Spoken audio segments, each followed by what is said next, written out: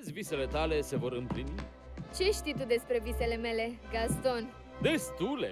Uite, imaginează-ți.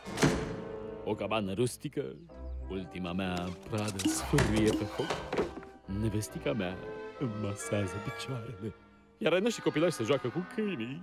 Vom avea vreo șase-șapte. Câini? Nu, Bel! Băieți voinici, ca mine. Nu mai spune. Și știi cine va fi nevestica? Să mă gândesc. Tu, Bel. Gaston, sunt... sunt mută. Chiar nu știu ce să spun. Păi spune, da? Îmi pare foarte rău, Gaston, dar... dar... uh, nu te merit.